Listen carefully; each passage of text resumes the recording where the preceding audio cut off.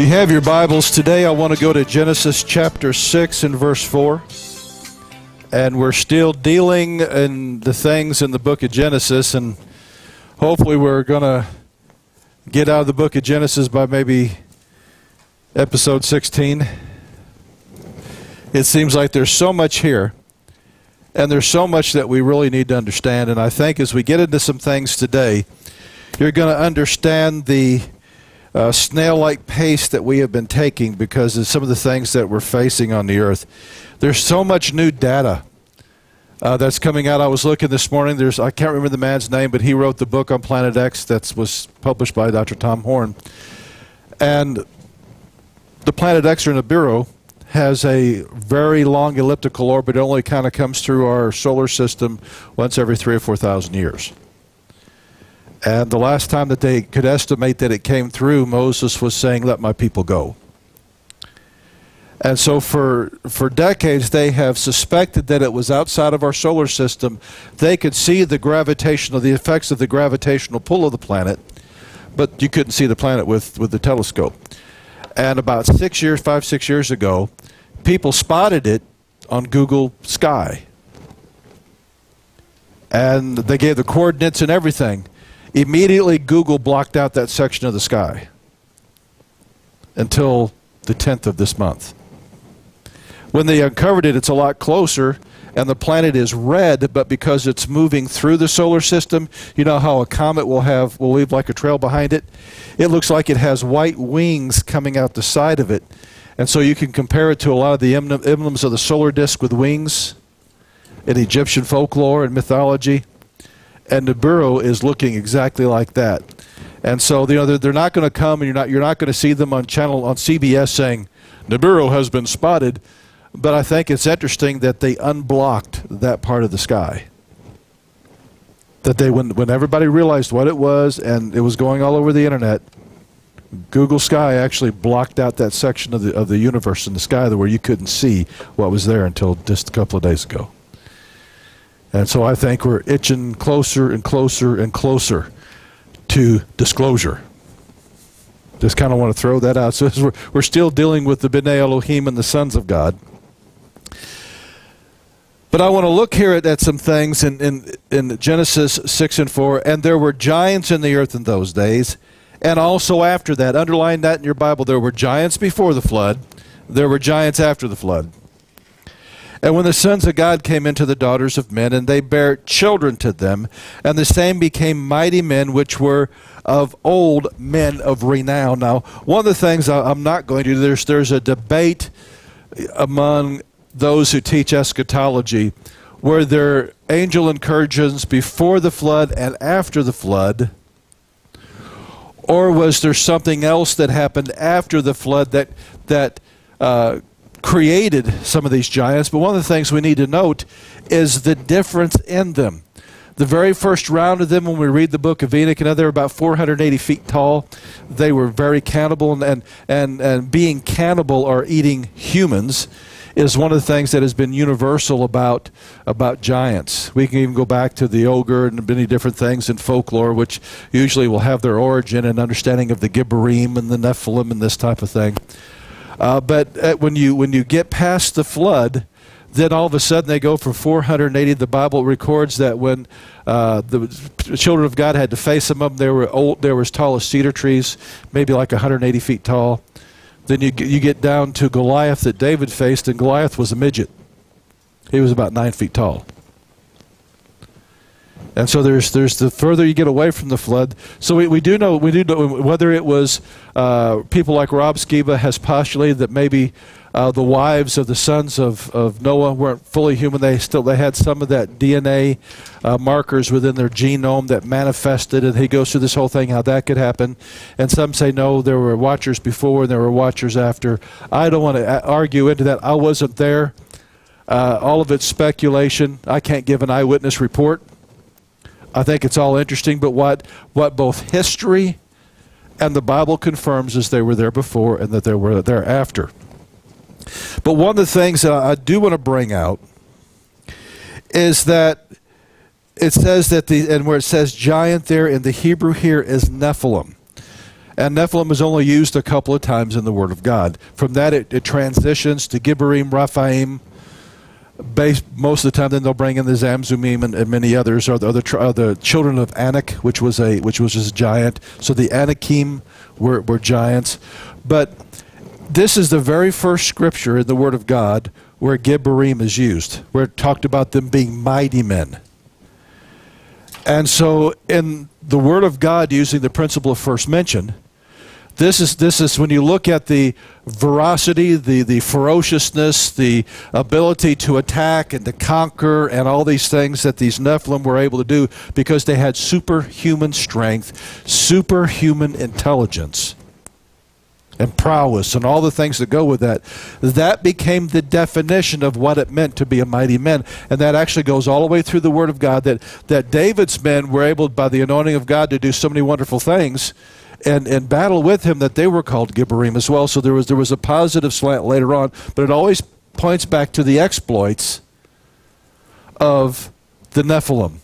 And you also see that not just in the Word of God, you see that in, in all of mythology. It always points back to the gods that they called these Nephilim. That, that was the gods of old that within, within all of paganism they looked at. And so if you would have a person like Caesar that would do mighty exploits, they would say he has become like one of the gods that could conquer. So there's this definition of this that, it, that is throughout all of mankind. So Gibborim is very important, and there's that, and there's. I, I, think that when you have a person like this that manifests some of this, sinful man has a propensity to begin worshiping them.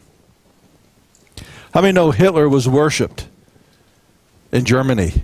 Stalin was worshipped in the Soviet Union. That we have Mussolini not only was worshipped over in Italy, you can go back and look at the Times article. He was Man of the Year on Time Time Magazine has a very, very, very poor record. Hitler made Time Magazine cover. But when you read the article about Mussolini, it was like he was he was entering into this type of godhood that because he spoke something, it should become law. Kind of sound familiar? I have a pen, I have a phone, I don't need a Congress. Same attitude. That the, there's this, when you, when you get so caught up in self and all this, and the spirit of that, it begins to move you to be like what they were. And I, I, demonstrate in the Shinar Directive that we, we get things like pedophilia, homosexuality, all these different things, all go back to the Nephilim. Cannibalism started with the Nephilim. And what's interesting is that spirit is beginning to come back in the earth. We have, with ISIS and all that, they are not only slaughtering Christians, but they're selling their flesh as meat in the meat market to be consumed. Same spirit.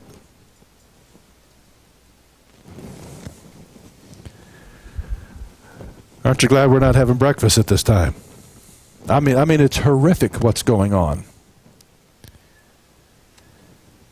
that all that that's that spirit of that time and that spirit of that time is coming back now we now i want to jump to genesis chapter 10 because we're going to spend this morning talking about nimrod god destroys the earth in the flood because at the rate that it was going at the way that they were they were contaminating all flesh that uh, nothing was going to be left you know, interesting in, in my research, and you know, the people are getting into the flat Earth theory. I don't buy it for a minute. But you know what? You know, the truth is, I don't care if it be round, be flat, or be square. It doesn't matter to me. Jesus is coming back, and he's going to rule and reign over it. And let's not get distracted by some things. Does the government lie to us? Does the politician have lips? Okay. All governments have always lied to, to their people to control them. And really, that doesn't matter. But one of the things in this whole discussion they act as proof was in the 1950s, they because Hitler did. A, I, I was amazed at what Hitler did in Antarctica. that at, before the beginning of the war, he moved scientists. They, they had construction teams go down there, and they did. That, well, I, in fact, there's a video that you can watch on YouTube that in the middle of Antarctica, there are warm waters in Antarctica where it's you know, I figured it was like, you know, 50, you know, 500 feet ice or a kilometer to ice over the landmass. There's some places that that doesn't exist because there's warm water there. And so there, there, there are ice tunnels that have been made underneath uh, uh, underneath the ice, as well as there's dry land that there's no snow. You, you never see that, do you, on the on the things? But yet, you can go on YouTube and there's a video when, when the Air Force first went down there. They were filming this and they were shocked and surprised to find those things there. But what's interesting is that the Nazi Germany believed that that continent was most likely the original Atlantis that was missing in folklore the, the area where the Nephilim and the, and the uh, Watchers had built their great cities. So he did a lot down there. And then when you look at Operation High Jump, that we sent an entire fleet down there for a scientific investigation. And within a month, they come back with their tails between their legs, that they had several of their destroyers sunk within an hour of the first battle that went on down there, and just some interesting things. And so you kind of wonder if there, you know, if there's watchers down there, whatever. But the Nazis took, uh, in fact, at the end of, of uh, World War II, there were hundreds upon hundreds of U-boats and submarines missing that we could never account for. That all the last jog was to go down to Antarctica. That's why um, Admiral Byrd took the fleet down there was to find all those and some other things. And so there's a lot of speculation. So the whole uh, the whole flat Earth theory, the only thing I thought was even relevant was what's in what's in the Antarctic. Because they went down there in the 50s, something scared them so bad that they packed up everything, and because the Russians were down there, because it was a continent that none of the resources had ever been tapped oil, gold, silver, uranium, all of that was down there. So that was the, the major area of exploration. They all packed up, they all left and created an international treaty. Nobody can go explore down there anymore, except for a few little things on the, on the outskirts. Really interesting. And I, think it's going to come to play maybe in some things that we, we see with Nimrod. There may be some spirits and things released out of that area. But let's let's look what it says here in, Nimrod. It says, "And Cush begat Nimrod, and he began to be a mighty one in the earth. He was a mighty hunter before the Lord, where it, it, wherefore it is said, even as Nimrod, the mighty hunter before the Lord." Now, there's a lot that stands out in this, and, and what's interesting is, although Nimrod historically and even biblically is a pivotal person, he only gets a footnote in Genesis. But when you read in the Apocrypha and you read throughout history, and I was surprised at how many Bible commentaries that there are volumes of materials on Nimrod that isn't normally discussed. Now, we're not, in here, I'm not afraid to cover anything. In fact, I, I, I thought it was interesting in one of the uh, uh, reviews of, of, of the Shinar Directive, one guy said, fascinating information, awesome research, but too spooky for Sunday morning but it's fine for Sabbath as far as we're concerned. There's nothing too spooky in the Word of God. We're tough, we're ready to go. We know what's going on. But twice here it, it reports that he was a mighty hunter before the Lord. Now that's Hebraic for, for underlining, for emphasizing. So I want to examine that in a minute. But look what it, it says that he became a mighty one in the earth. This is the second occurrence of the word Gibborim in the Word of God. The first one was Genesis 6, and you go throughout all the Hebrew, and it's not used again until Nimrod is brought up. That Nimrod began to be. He didn't start out that way, but he became a Gibborim. He became like a Nephilim. He became a giant. And if we and if we have any doubt about that, because some will speculate about that, now, the Septuagint is the Greek version of the Old Testament. The rabbis uh, before the time of Jesus had went in and, and had, uh, had translated the entire Old Testament into Greek. And that was, that was actually the version of the Old Testament that the Apostle Paul used when he was preaching to the Gentiles. He didn't, there, there is no record anywhere in the Bible that he went into these Gentile areas and taught them Hebrew. so that they could read the Torah. He simply handed them the Septuagint because it was all there in Greek. And when you look at the Septuagint, and this is this was rabbis of that era, sometime probably uh, between uh, the time of, of Malachi and the time of Jesus during that intertestamental period, had translated the entire Old Testament into Greek, and it reads this way. And Cush began Nimrod, and he began to be a giant upon the earth. The rabbis knew exactly what Moses had in mind. In fact, that word in the Greek is gigantus, in case there's any doubt whatsoever. Now, this is important because the moment that you begin doing any research into, into, uh, into the mystery religions, whether it's Freemasonry, Rosicrucianism, alchemy, all that, Nimrod is their poster child.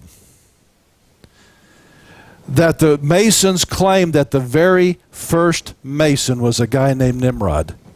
Now, as a Christian, I would have a hard time joining that organization. I would rather be in an organization whose founder was Jesus, you know, not Nimrod. That shows you the ignorance that goes through the body of Christ because they're taught that and they go, yeah, yeah, that sounds great, that sounds great. But they don't realize that why he is, he started out human and he was able to transform himself into a giant. That's why all esoteric societies are absolutely consumed and fascinated by Nimrod. One of the things, and this is a metaphor, but one of the things that, you know, in alchemy, it's always trying to turn lead into gold.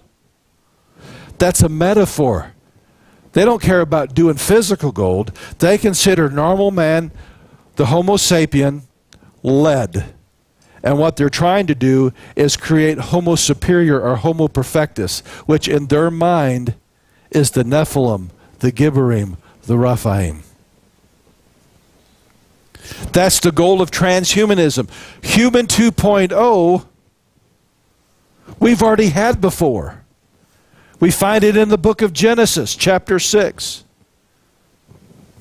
In fact, I think it's interesting, even with when the, the, the, Catholic Church and everything are positioning themselves for the Sprace brothers to come and for us to have official disclosure, their top man told Dr. Tom Horn, But Tom, it's already happened before. Haven't you read Genesis chapter 6? So, in their theology, what God judged, they're saying is nothing but advanced aliens that came and tweaked the DNA of man to bring us to perfection. With some of the things that have come out of the, this out of the Catholic Church and their theologians, I kind of wonder if they actually spent any time in this book. One of the things uh, St. Thomas Aquinas postulated in his writings, where he's looking at natural law, like you, you, know, you read with the founders, they look at natural law, and then there's, then there's divine law. And they basically say you have right of ownership of stuff but and th this is this is what they write. Now, if if someone else has a need, their need surpasses your right for ownership, and they can simply come and take what you have. That's actually Catholic doctrine, and it's part of the New World Order, and it's and it's causing havoc in Africa because it's no longer theft that you had a need. Now let me ask you something. If you went, if you went to one of these, like the Rothschilds, and said, "This is your castle. I'm going to want it because I have a need," how many know that you would probably be met with artillery? You see, that don't go for them, but it, goes for us because they completely ignore "Thou shalt not steal." That's not even a, a lesser commandment. It's one of God's big ten. They don't care. It's of the same spirit. So both in Scripture and the uh, and although the Apocrypha is silent to how Nimrod accomplished this, we don't know, and that's that's the million dollar question. That that that's the key to the super soldier program. We don't know how he did it. In fact, one of the things I, I share in the Shinar Directive is I believe that the, it was beyond watcher technology. He did something and did something that I mean they had to do it the old-fashioned way. They breeded with women and they and they GNI spliced, most likely in vitro. And then you were born in Nephilim, and you simply and how many know that you can have a nine-pound baby being born, but if you turn off its where the growth hormone stops after you get such an age, that you know you don't stop growing at 18. And if you're living to be a thousand years old, and you keep growing, it doesn't take long to get 100 foot or more, does it? You know, 50 years old, you're, and see, one of the, in fact, what I think is interesting is they say one of the ways of slowing down or reversing the aging process today, they're trying to give people human growth hormone or reactivate it in their bodies because when it does, all your cells become young. So you have that whole thing going on. But we don't know how they did it. But I did find one interesting hint in, uh, let me see if I can find it here, in, in the book of Jubilees. And it actually lists a grandson of Noah that's not listed in the Word of God. And his name was Canaan. And in Jubilees 8, picking up in verse 2, talking about Canaan, and the son grew, and his father taught him writing. And he went to seek for himself a place that he might seize for himself a city or build a city. And he found a writing from former generations, had carved on a rock, and he read what was thereon, and he transcribed it and sinned owing to it, for it contained the teaching of the watchers in accordance which they had used to observe the omens of the sun and the moon and the stars, and all the uh, signs of heaven. And he wrote it down and said nothing regarding it, for he was afraid of Noah, about lest he be angry with him on account of it. So in the Jubilees, one of the speculations might be that there was some type of technology or, or, or, or, something of that nature transcribed in the writing of the Watchers. That one of these guys found it ended up in the hands of Nimrod. Now, that to me is speculation. I don't count the book of Jubilees. It has some very interesting things, and there are some things that line up with Scripture. And it may be literally doing the Paul Harvey that we don't know about, telling us the rest of the story. But I can tell you this that nations, right? Remember when there was the arms race, you know, to, to get the nuclear bomb? And then after that, even Vietnam was an arms race to see which nation, whether it was Russia or America, that could develop the most strategic, powerful, non nuclear weapons on the planet. And uh, I've got a friend that his dad was, he found out on his dad's deathbed that his dad was in the CIA. He didn't know it. And one of the things that his dad told him, he said, you know, the whole reason we we were in Vietnam was to use that as a laboratory to develop weapons that we could eventually take the Soviet Union down. So there's this arms race. And we've always had an arms race. Right now, there's an arms race going on with China. Unfortunately, we had a president during Bill Clinton's reign that uh, he gave them technology they should have never gotten, like how to have multiple warheads on a on a rocket saying that they could launch multiple satellites for us when they needed to. He basically gave them classified documents, and why he didn't up in, in jail, I don't know. But now they have gotten things so precise that they can, they can fire a missile and shoot down a satellite. They've already proven that. They also have a satellite that's a satellite killer. They can launch a satellite, and that thing has arms and will come along a satellite, grab it, and throw it out of orbit. So there's an arms race. But the greatest arms race, according to DARPA and other think tanks, is this super soldier arms race. And it's about becoming like Nimrod to reinsert Nephilim or Raphaim or Gibborim DNA back into the genetic pool. On the secular side of things, not the military, the secular side, they're calling it transhumanism, where every major university has a transhumanist part of the university that's studying on how to tweak the genome to create super soldiers, to stop aging, to quadruple our, our, our intelligence. You know, we get, in, we get into enough trouble, guys, with those that just have an IQ of 100. How much trouble can we get into if you increase their IQ to 300 and they'll live for three or 400 years? That's just trouble in the making. But we're not taking these things through. Now, another clue we find here in verse 8 when it says that he began to be, that word began in the Hebrew is kalel, which means to profane, defile, pollute, to desecrate. It means to pollute oneself, to profane oneself, to, uh, to include ritually and sexually. I also found interesting there are even hints of the story of the Antichrist in this one word because it also means to be wounded, to be pierced through. I remember the, the story of the Antichrist that he had, receives this fatal head wound, but yet when he comes back, he's a man to be reckoned with. And the interesting one, which seems out of character for this word, means to play a flute or a piped instrument. And I, uh, so to me, it refers back to the god Pan. And maybe there's some harmonics that they're discovering can overcome because when God broke the canopy and caused the flood, man went from living a thousand years to living 120 years. That there was, there was uh, there's a there's a creation museum or creation laboratory down in Texas that they've created a biosphere that replicates the way the things were before the flood. Do you know that you can take a rattlesnake, put it in there? Now, if you would look at rattlesnake venom, it's all chaotic.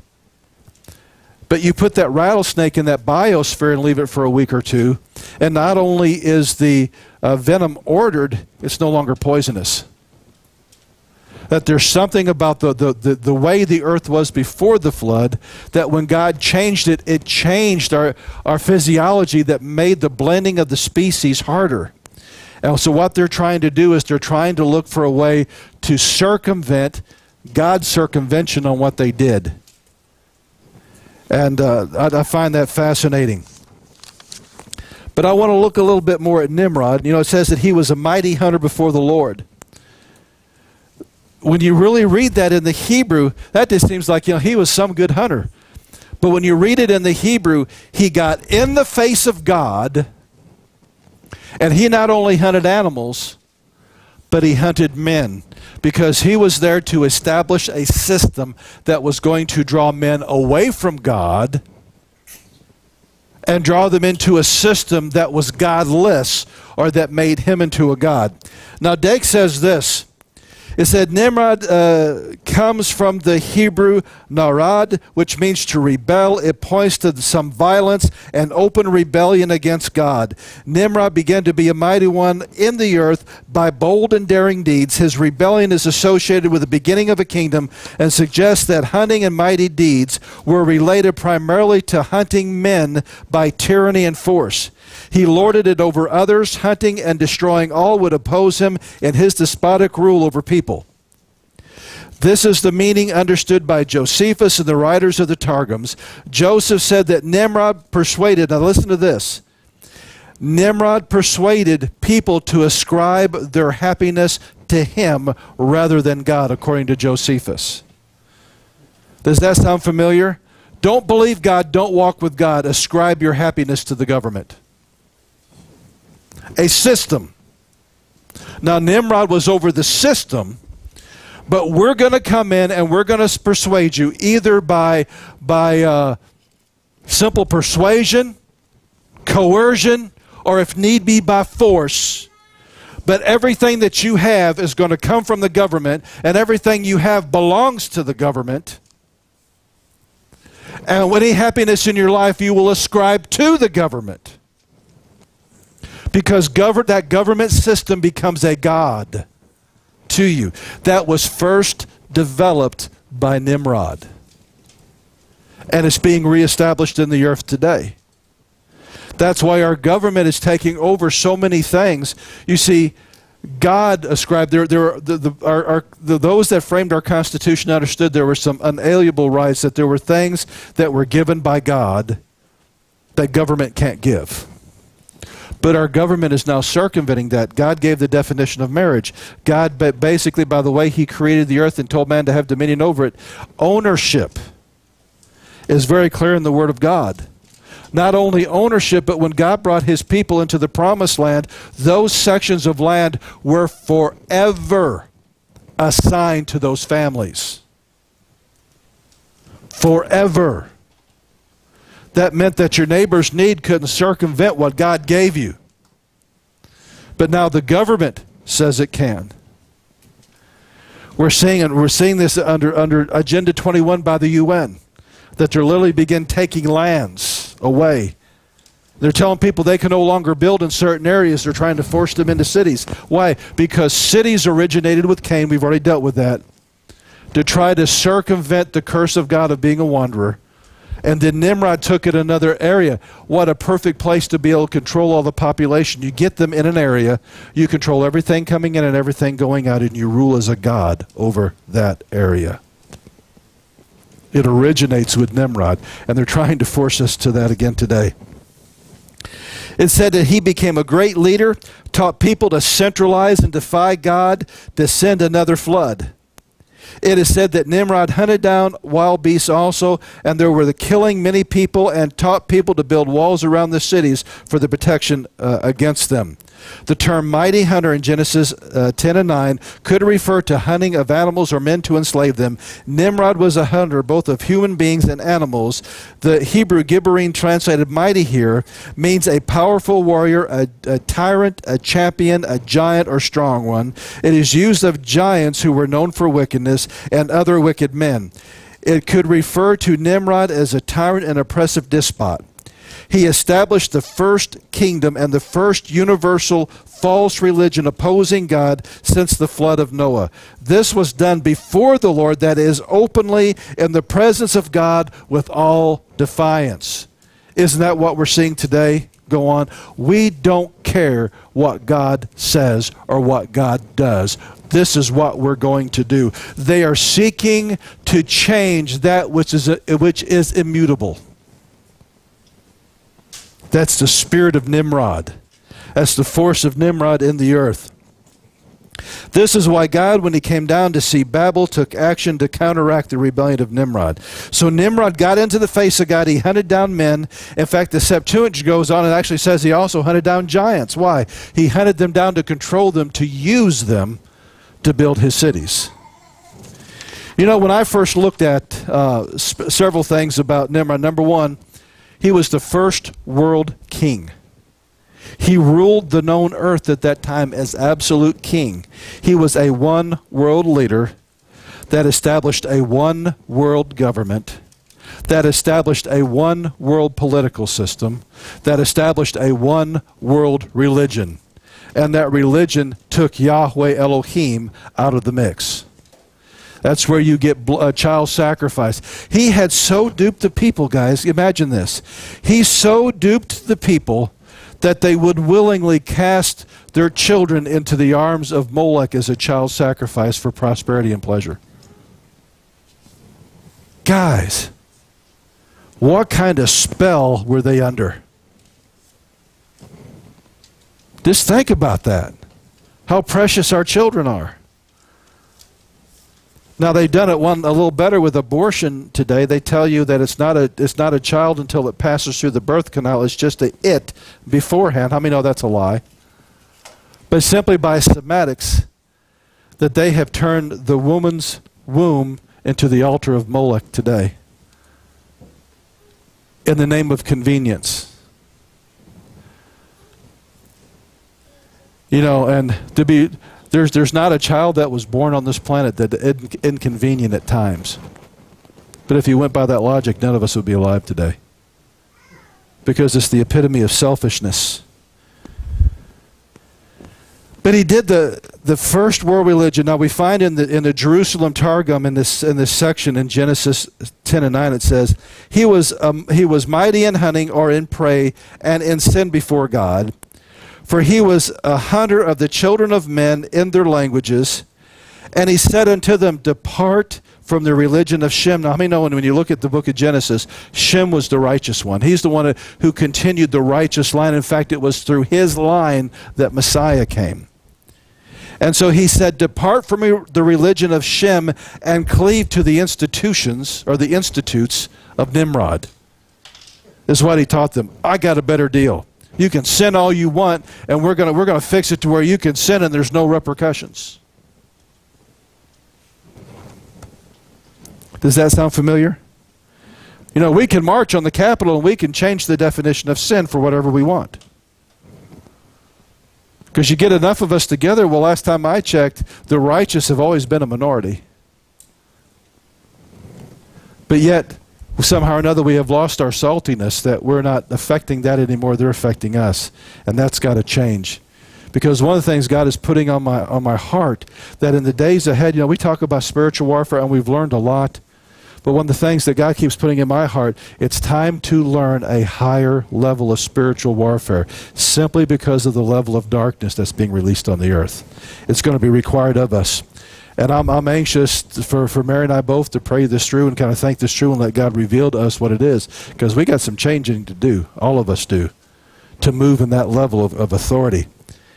But you know, when I think of Babel and the Tower of Babel, I had always imagined just a desolate plain, the Valley of Shinar, where the guys got together and tried to throw some bricks together, and God got mad, you know, because they got it over 20 feet tall, and God got mad and kicked it over and confused our languages. I was amazed when I did the research. And, and this is from uh, Alfred Edersheim, and he, he has written some very, very powerful books. Listen to this about the size of Babel and of the magnificence of Babel, the capital of the empire of Nimrod, the mighty hunter, is difficult to convey an accurate conception without entering into details foreign to our purpose. But some idea of it may be formed from its, uh, from its extent, which, according to the lowest computations, covered no less than 100 square miles. That one city. 100 square miles. I read another commentator that said very possibly up to 200 square miles.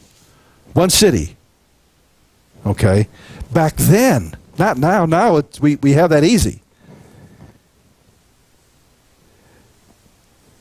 He said with the highest computation could be uh, could make it cover 200 square miles or 10 times the extent of London.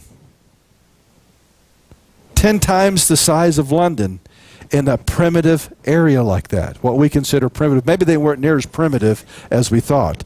And if you have giants on your construction team, how many know it doesn't take long to put a lot together? Such was the world city, the first beginning of which at least Nimrod had founded.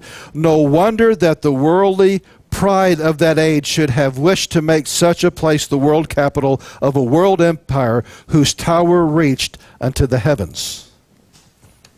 Now, when, and I'm not going to give all the quotes here I, I do in the, in the, Shinar Directive, but so you have a 100 to 200 mile square city with a wall around it up to 450 feet tall. In fact, it was 30 feet shy of the top of the Great Pyramid of Giza, which is the only edifice that survived the flood. It was so wide they had chariot races on the top of it, four chariots wide, and then actually had a place for the people watching it to be able to be. That is what Nimrod built around this city. Huge wall. And many speculate that the reason he built this was so that if God was going to judge the world again and cause, because it just didn't rain, there, all, all, the, all the springs of the earth burst forth. So you had water coming up out of the ground, you had water falling from the sky, that it would hold back the flood waters until they could escape in the Tower of Babel. It's like, God, I dare you to do it again. And if you think that's silly, that our scientists have just discovered under the earth's uh, under under the mantle fresh water that's either like 10 or 100 times the water that's on the surface of the earth now is under there. So literally we could lose all the surface water on this planet and there's enough under the earth's core to refresh it 100 times. Unbelievable I mean, know God had a plan when He made this planet? I kind of wonder during the millennial reign if the Lord doesn't tap into that water. Because the Bible says that when He sets His foot on the Mount of Olives, the Mount of Olives is going to erupt and split in half, and water is going to come out. I wonder if He's not going to cause a fissure all the way down through the Earth's core or the Earth's crust into that. This kind of makes you wonder, doesn't it? The more that science discovers, the more it, it, it, it goes along with the prophetic images that we see in the Word of God. But one of the things that dawned on me is as we look at uh, Nimrod and the Tower of Babel and Babylon, is it was the epitome of sophistication and technology of its age.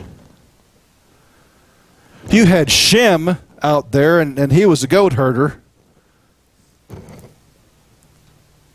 He didn't have great walled cities. He didn't. He did. In fact, there there are some estimates to the Tower of Babel we'll get into next week that it could have been 4,500 feet tall. Unbelievable. And there's some that are actually estimates far above that. What they accomplished. And so you have this place of absolute sophistication, technology. You have this ruler with not only military prowess but he has this demonically charged super intelligence. And there's two faces to Nimrod. He's sophisticated at the same time he's an ultimate savage. Doesn't that sound like like our, you know, our leaders? They go around, they fly in jets, they're sitting there eating caviar, the Bilderbergers and others, and they're the they're the high society. But yet to to say, you know what? Let's go ahead and start this war over here because we can get rid of 50 million people. Let's just, let's just have them slaughtered. Let's go ahead and let's have abortion over here and try to make it legal. Let's cause this conflict. Let's go ahead and take all the finances and throw this country into, into absolute decimation. You know, there's evidences right now. You've been watching the news about the uh, uh, the bird flu wiping out all the chickens so that there's an egg shortage and everything. It's very interesting when you watch it because without any contamination from the outside, the bird flu shows up. Yet farms that are free ranging in those areas, none of it tests positive for the bird flu because that is a closed in system with ventilation. All you got to do is drop in the virus and they all get it. And there's places where they couldn't get in the virus. And so now we're having in South Carolina and other areas that they're sabotaging the ventilation systems in those chicken houses, in those warehouses, so that they have lost, I don't know if it was a million or just under a million chickens because of sabotage. It sounds to me like they're trying to create a shortage because not only do we have a shortage of, of birds, but we also have a shortage of eggs, and that will that will affect everything from the egg setting on the shelf to all the prepared foods in the nation, from even even the uh, uh, many of the things like when you get a cake mix to make, the egg powdered egg is already in it, or many of them there are, some of them there aren't. Can you imagine what that's going to affect if there's an egg shortage and they have to start, and it's manufactured, very likely. But there was somebody somewhere that said, We're going to create this disaster. We're going to do this. Because their guideline is the Georgia Stones reduce the planet's population to 500 million slaves. Because I guarantee you it didn't count them, and they're not going to lose. That's that spirit of Nimrod. He was that savage. He was sophisticated, and everybody looked up to him, and he was the best dressed, the most, the, the, the most charismatic. But at the same time, he wouldn't have a second thought of taking somebody's life or wiping out a people if it got in his way. Doesn't that sound like the Antichrist? Who can make war against him? He was civilized and he was barbaric. He was an, an, an, intellectual, yet at the same time he was demonically twisted. He was a builder, and at the same time he was a destroyer. Built this technology, but would destroy people's faith and destroy anything in his way. He was an inspired leader, at the same time he was a betrayer. He was religious, but he was full of darkness. You know, that describes the, the basic tenets of everybody in, in, in, uh, in uh, secret societies. There's a religiousness to it, but it's full of darkness. Esotericism. It's a scary thing. I spoke with a man that got a hold of the Shinar directive that he was wounded in ministry, left ministry, joined the lodge, went into uh, from the lodge went into Rosicrucianism. He went so deep into Rosicrucianism, he began to fellowship with the ascended masters. I mean, that's that's welcome to the Illuminati got a hold of the book, realized what was going on, repented. But he said that he was taught when he was in Rosicrucianism, you you go into the churches and you start teaching their Sunday schools. You go to seminary and you start doing the ministry. You go to college and you start being the professors that begin interweaving uh, esoteric understanding and you pollute the gospel and you begin just trying to bring in this one world religion. That's one reason now that we have a modern translation of the Bible that translates the Lord's Prayer by saying, as above, so below. That, that's Hermeticism. That's the very foundation to everything that, that uh, Freemasonry does. It builds it according to, the, to the, the principalities and powers that are in line with the second heaven, and they skip God altogether. It's all right there. He was a social engineer. He was a world savior. He was a Luciferian Messiah. At the same time, he deceives the masses for his own glory and his own dark purposes. You say, Mike, why are you bringing this up? Because as it was in the beginning, so it will be in the days ahead. We have already had our world leaders. This, this go and Google some things our world leaders have said. One of them, they said, if we can find one man who can rule as king, who will come up with the, all the answers, whether he be God or devil, we will follow him. We had another key leader in the UN said that the entire world must be a part of the Luciferian, must be initiated into the Luciferian order. And if they don't, they'll die. Is basically what I said. I can't remember the exact quote, but that's basically what he was saying. Either you go through the, the Luciferian initiation or you die. Now, those are the guys meeting up in New York City. They go and meditate in a room that represents Nimrod's unfinished work and that are trying to rule the earth for peace there hasn't really been peace since they've done the UN. Have you realized that? And we're on the cusp of World War III in spite of them. To me, that means they're irrelevant. They are irrelevant. They're just another hand of Nimrod coming back to power. And see, that's where we're headed. We need to understand this. We need to understand the connection of what Nimrod did when he when he built all this and what they're trying to build now. In fact, it's, it's very very possible that CERN is this generation's Tower of Babel. And we're going to get into that next time and understanding really what the Tower of Babel was about. In fact, there was a technology most likely embedded into it that Saddam Hussein uncovered when he excavated ancient Babylon. Do you know there's documentation and, and, evidence to show that one of the things that uh, Nebuchadnezzar did was he rebuilt the tower? In Babylonian documents, there, there's places where he brags about, I have rebuilt the Tower of Babel into its splendor.